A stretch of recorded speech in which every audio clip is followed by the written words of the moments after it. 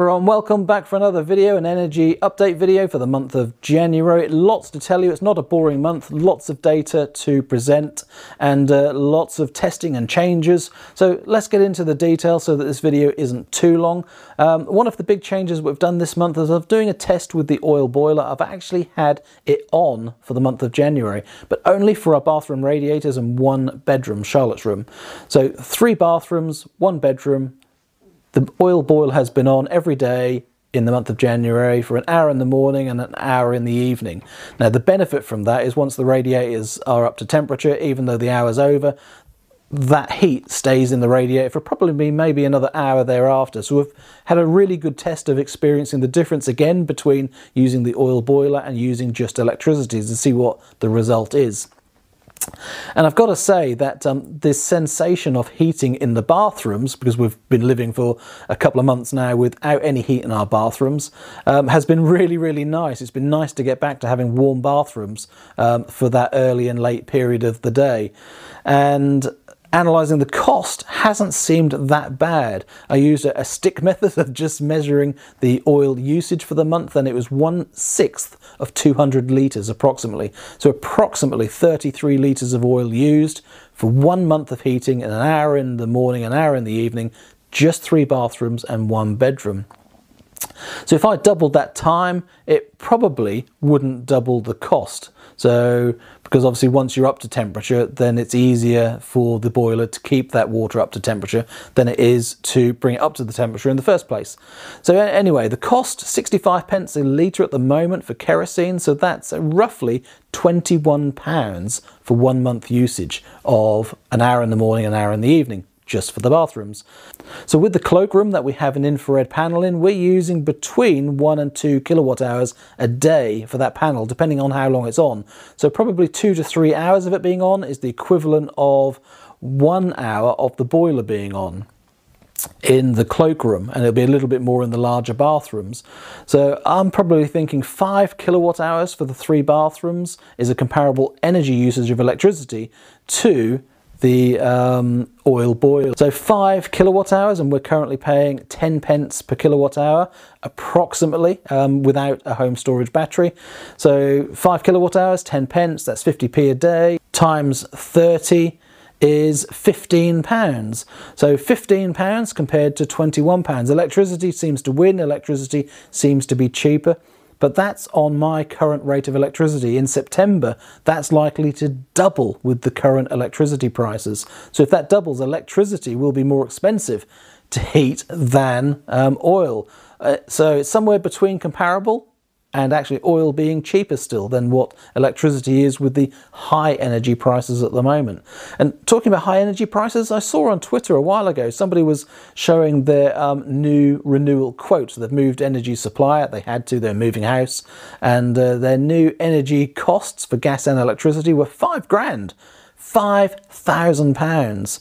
Now you think about that, that's over £400 a month. And as I explained in the uh, recent video that I did talking about the economies of putting solar panels and batteries on and how that helps in retirement, that you need to earn less money, the same applies here. Five grand of energy prices. That means you've got to earn £5,000 to pay for that. So if it's doubled from two and a half normally in a year to five, you've got to earn two and a half thousand pounds more.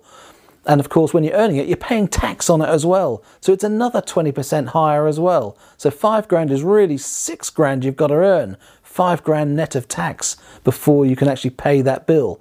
That's a huge amount of money, isn't it? A huge proportion of income going towards energy. And it's scary bills like that, the doubling and trebling of energy that we're seeing at the moment, that really makes you think that solar energy and home storage batteries really, really pay dividends. And hopefully you'll see that in the stats that I'm now about to present.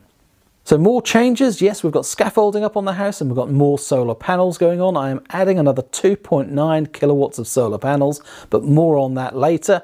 The difference is occurring from about the 19th of January, so we are seeing better generation in the second half of January, but also we took out the Huawei home storage battery. So since the 19th of January, I have not had a home storage battery working. I am in the process of having a new one installed. More details on that in another video, uh, but it's not fully commissioned yet, so it's not working. So I'm not benefiting from cheap energy overnight, stored in a home storage battery for use during the day and during the night. So my energy consumption and my average price per kilowatt hour has gone up. Um, in this graph alone, it just shows the price per kilowatt hour that I'm paying. And as you can see, mostly when we had a battery, it was five to six pence a kilowatt hour. Now it's uh, heading eight, nine, ten, and above pence per kilowatt hour. So yeah, home storage battery is making a significant difference when you've got it and you can use cheap rate energy throughout the day and throughout the night. So for me, that's the aim to get a battery that will cover our entire day. But interesting in this graph, if you look at it and you see on the left hand side, those two spikes in the period where we did have a home storage battery, that was an interesting thing to see that if I added a larger home storage battery, those spikes would disappear and I would continue to use just five pence per kilowatt hour of electricity. So adding a home storage battery has a good effect and it saves money every day by using cheap rate energy. But when the returns are smaller by adding more batteries, adding a bigger battery, it is diminishing returns. So you do have to size it right to hit the large bulk of savings that you want and not oversize it if you're concerned about return on investment and how much money you're saving by having a home storage battery. Sizing it is quite key and you can see that from this image. So more information to come, separate videos on the solar panels and home storage battery, the ultimate home storage battery that I'm installing. I'll do those videos separately as soon as we're fully up and commissioned here. But uh, this video, monthly update for January. So here we go. Here's the stats. Hope you enjoy it. Starting off with solar generation, that's 310 kilowatt hours for the month of January. That's three times what we had in December and more than what we had in November as well. So January was really a bumper month. The breakdown of that 310 kilowatt hours was 107 kilowatt hours from the Huawei solar inverter, 74 kilowatt hours from the Solis inverter, and 129 kilowatt hours from SolarEdge. Having a look at the January comparison just with the SolarEdge statistics, the 129 kilowatt hours, you can see that it's definitely a significant chunk more than the last two Januaries, but it's also more than February. So these extra panels definitely helping. Looking at the numbers for previous years, the 310 kilowatt hours, that's nearly 50% more than what we've had in previous years. 50%, now most of that is down to just lots of sunshine in January, but some of it, yep, those extra panels from the 19th of January. That's 49 kilowatt hours per kilowatt of solar panels installed, but of course that number is going to reduce as I add more solar panels. Home energy usage, that was 585 kilowatt hours, still quite high because we're heating our home with just electricity, or mostly electricity this month. And uh, Eddi, that's all of our hot water, that was 186.6 kilowatt hours. Surprisingly, these numbers are very, very similar to last month's in December. Import from the grid, that was 130 kilowatt hours less than December at only 437 kilowatt hours. Still quite high, but 130 kilowatt hours less because we generated more solar energy, so we didn't need to import it. Export back to the grid, that was quite low still at 20 kilowatt hours, but as we get more solar energy in spring and summer, we're obviously going to be exporting more. Hopefully I can save some of it though in our larger home storage battery. So we're on the Octopus Go tariff. That's a three-hour version of it, um, very cheap in the early hours of the morning. And we paid £41.36 for those 437 kilowatt hours. And look at the price it would have been if we were on Agile, £140. We saved £100 by being on the Go tariff this month and the average price per kilowatt hour that we paid was 7.69 pence. As I said, some of that was higher than it would otherwise be because we de-implemented the home storage battery on the 19th of January. Looking back at December, we obviously used more kilowatt hours, as I said, and we paid £45.72 for that energy, but it was cheaper on average, just 6.75 pence per kilowatt hour. Battery storage, as I said, that was removed midway through the month, but we did put 84 kilowatt hours into the battery and got 80 kilowatt hours out. So that's 80 kilowatt hours at cheap rate energy of just 4.5 pence a kilowatt hour. So this Myenergi app, that's quite a good summary to show. So although the numbers are slightly different, the accuracy level on Myenergi is slightly different to the other inverters. But consumption here, 771 kilowatt hours consumed, 331 kilowatt hours generated. It's saying we imported 456 kilowatt hours and we exported 16 kilowatt hours, 41% green overall. Pretty good. This last chart from Myenergi, if you look at the bottom uh, where the yellow export is showing, hardly any days with export. That's what we like to see, especially in winter. We need to use all of the energy we generate.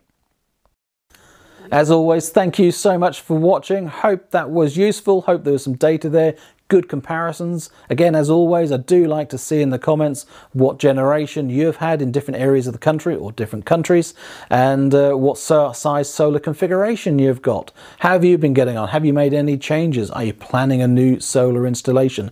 Obviously, these videos are aimed at those who have got solar and batteries already, but also those that are considering it. Hopefully there's some information here to show you how good solar and home storage batteries are. Do you really want thousands of pounds as your home energy bills, or would you rather have hundreds like we do? Uh, yeah, having solar and having batteries is a godsend at the moment with high energy prices.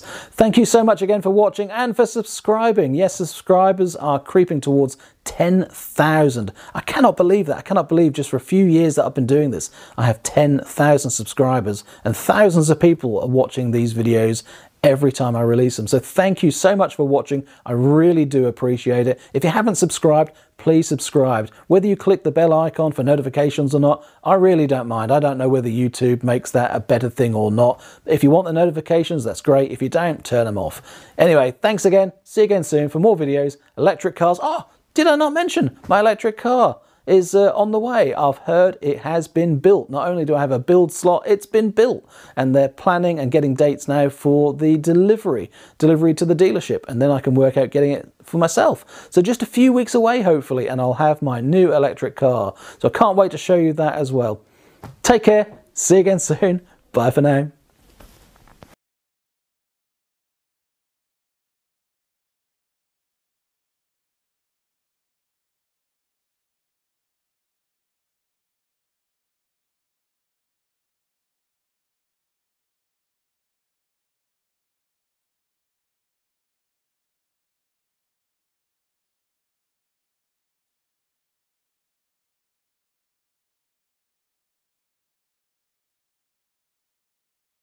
And just for those that watched to the very last second, I thought I'd include this. Um, the video editor has just included a new feature to add voice animation, so Nigel the Chipmunk. Anyway, thanks again. See you again soon for more videos. Electric cars. Oh, did I not mention my electric car is uh, on the way?